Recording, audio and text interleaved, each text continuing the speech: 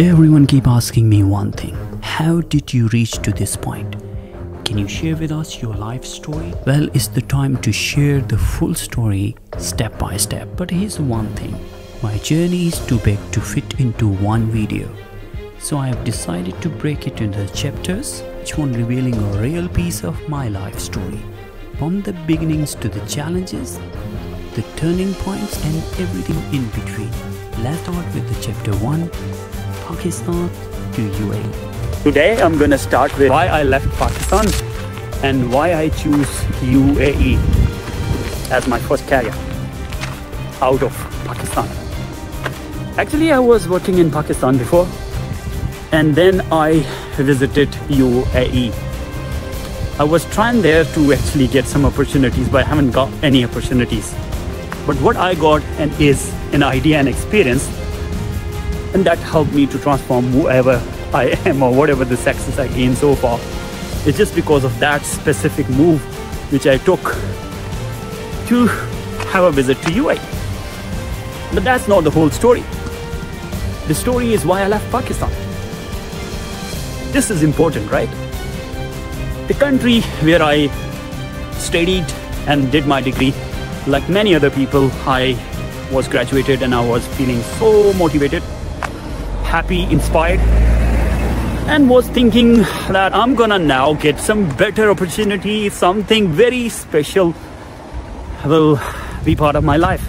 I would have a job, but you know, like many other people, I was not aware that the real life is more challenging. It's not that as simple as you normally think of. So when I graduated, I was trying to find opportunities anywhere in Pakistan. I was not literally able to find some opportunities. Even I was willing to pay, oh, sorry, not to pay, to do the job without a pay. But nobody was willing to give me any job. You know why? Because they say you don't have experience. How the heck I'm gonna get an experience if you guys are not gonna give me a job? But yeah, that's our policy. If you're not experienced, you are not gonna get job. Okay, what I should do now? Gain some experience. So where I can get an experience? We don't know. If you guys are not gonna give me any chance, how the heck i'm gonna get experience? I was mad, totally out, lost, not happy. But I had a hope. Somehow something will get better and I will get an opportunity into top-notch companies. Yeah, but life is so awesome. You know, with the struggle, I'm not going to talk about that. One fine day, I landed my opportunity, first opportunity, and then I tried to learn instrumentation, automation, and then I moved on to one company, Bestway. I was working in the Bestway Cement. One fine day, I got a call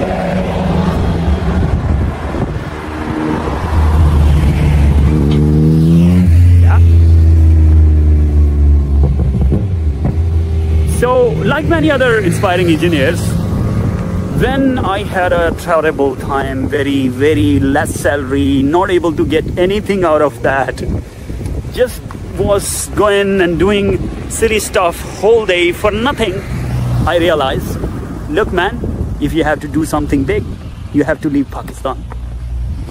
You're not going to be able to do anything here whatever you can earn here for 15 years, maybe you can earn the same amount in a one year in UAE or anywhere across anywhere in the world. So you have to, if you have to do something big, leave Pakistan. Now I tried applying here and there, trying to find opportunities, but I was not able to get a single reply. Why? I was not aware about that. And maybe like you there are many like uh, me there, there would be many people who are not aware why the heck they are not getting the response from the companies they are trying every day. But anyways long story cut short. I kept on applying and i was not getting any response. I was applying maybe 100 different places. No single place was giving me a response. But one thing i was doing very good at that time because i had a terrible time to learn automation so I was sharing the information, whatever I know. in automation domain on LinkedIn platform. And you know one thing? I had no idea that this thing is going to help me one day. So one fine day, I opened my laptop when I was in Bestway Cement. I got a message that please share your CV on this Gmail ID. I was like, what the heck? You're talking about some, like many other people. I was like, what the heck? This guy is thinking I'm crazy, I'm mad. He's a scammer because if somebody is legit, he's gonna send me uh, his official ID, but he was not sending me an official ID. So I was like, I'm not gonna share it with you. With you. So I had a discussion with one of my friend and few close relatives that I got this email. Should I send my CV? And one of the my close relative or maybe friend, I don't recall the exact person, he said, "Are you girl? Do you have something to hide?"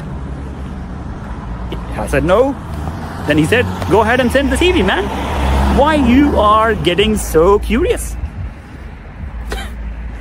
or why you're so hesitant to send this CV. So I said, okay, let me try. And then when I sent the CV, I was still thinking it's a scam, by the way. I was not aware at all that this is going to be a game changing stuff in my life. So, what exactly happened after that?